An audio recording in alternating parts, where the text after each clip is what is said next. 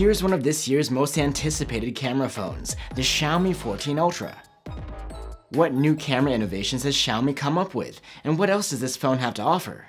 I'm Will for GSM Arena, and let's find out in our Xiaomi 14 Ultra review.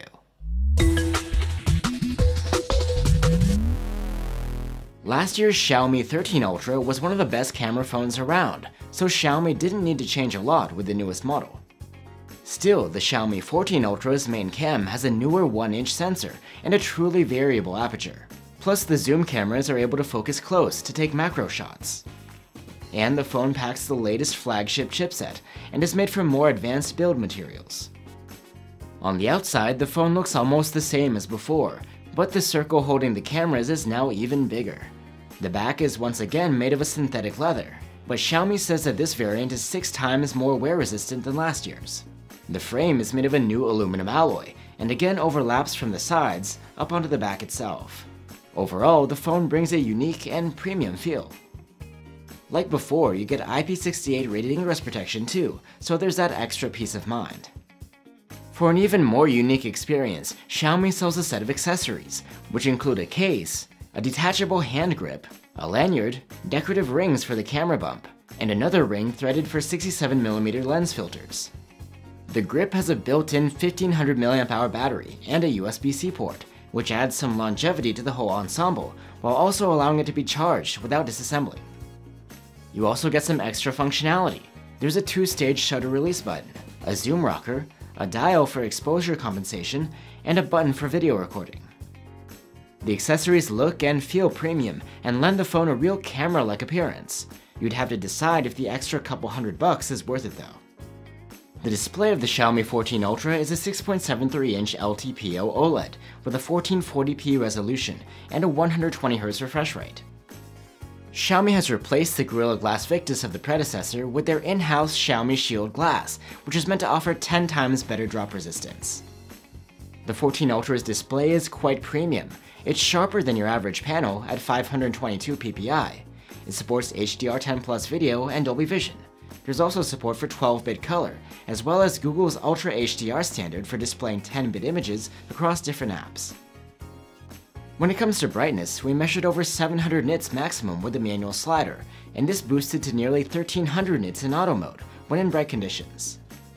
And thanks to LTPO tech, the screen's high refresh rate is extra adaptive to save energy if the brightness is high enough. We saw it dial down as low as 10 Hz when idling, and 1 Hz should be possible as well. For audio, there's a pair of stereo speakers. The 14 Ultra matched the previous model's very good rating for loudness, and improves on the sound quality with a slightly livelier mid-range while maintaining good bass.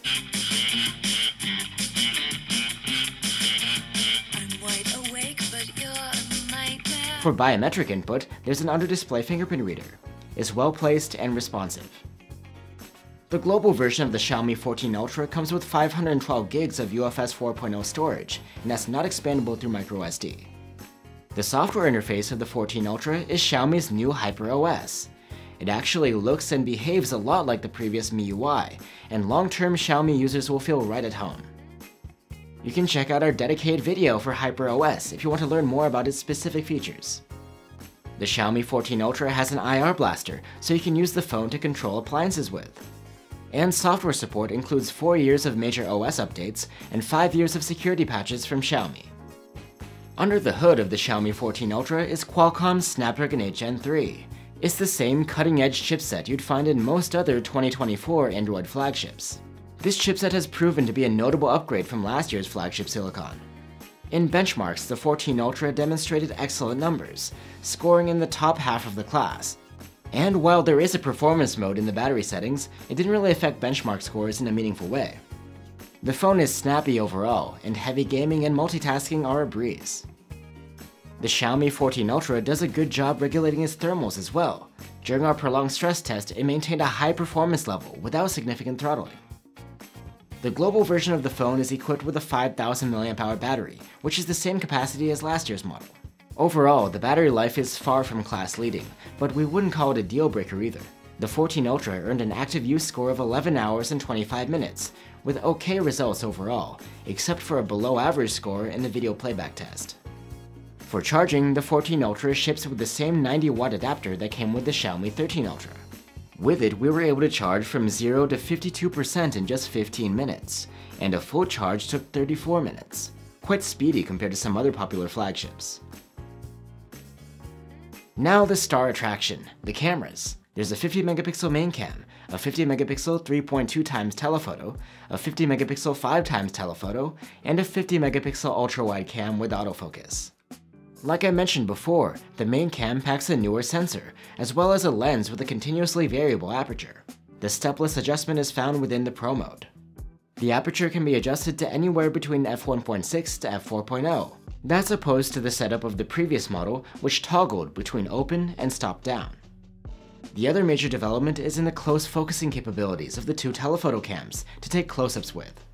Anyway, let's get into the camera quality, starting with the main cam. It captures great looking photos, as expected. Detail is excellent and is rendered in a relatively natural way. Only when pixel peeping might you find some very intricate textures with a more artificial look. Colors are expressive without going overboard. Dynamic range is wide, and noise is very well controlled too. If you'd like to get some artificial vignetting and a moodier look, you can switch to the Leica Authentic mode. We explored a little how the variable aperture affects sharpness. In good light, the phone will normally set it at f2.0. When you further stop that down, it makes little to no difference, especially with further away subjects. There's a more visible effect on the depth of field with nearby subjects. With those, you'll sometimes want to stop down a little to make sure you get more of your subject in sharp focus. The main cam's 2 times digital zoom looks great, with very good detail even when pixel peeping. In low light, the 14 Ultra captures excellent photos. You get pleasant looking exposures, with well-retained highlights and developed shadows. Even in mixed lighting, the white balance is dependable, and the color rendition is easy on the eyes. Viewing from up close, there's very good detail. The Xiaomi strikes a nice balance between keeping the detail up and removing noise. Now the 3.2 times telephoto cam. It produces quite possibly the sharpest 3 times images we've seen to date. Plus the dynamic range is excellent, white balance is on point, and colors are vibrant. But the real treat comes with close-ups. Even at minimum focusing distances, this camera maintains excellent sharpness and is capable of some stunning results. The difference compared to the previous model is night and day. Speaking of night, even in the dark, the 3.2 times telephoto will hardly leave you wanting. Exposures are on point, dynamic range is very good, and there's plenty of fine detail. The revamped 5 times telephoto doesn't disappoint either, capturing great photos during the day. It's also an expert at close-ups, as promised. Here too, you can see the level of improvement compared to the previous model when it comes to close-up photography. If you're after more reach, you can achieve 10 times with the help of digital zoom, and the results aren't too bad. The sharpness is good, but the contrast can be a bit much. The 5 times telephoto isn't as good as the 3.2 times one in low light. The detail is there, but the dynamic range is somewhat limited. And with the phone prioritizing highlights, you may often get shots that are darker than ideal. Light sources may come out more orange here too. The ultra-wide camera's photos are very likable. Other than a hint of graininess, there's little in the way of flaws. There's very good detail, great colors, and wide dynamic range. And this camera has autofocus too, so you can shoot close subjects. At night, the ultra-wide showing is okay. Its colors are a little anemic, and detail is somewhat sketchy when viewed from up close. The Xiaomi 14 Ultra can record video in up to 4K at 60fps with all of its cameras, and the main cam can also record 4K at 120fps. The 4K video quality from this phone is quite possibly the best we've seen so far. The four rear cameras have stellar dynamic range and color reproduction. The level of detail is excellent from all of them. Okay, maybe more like very good on the ultra-wide.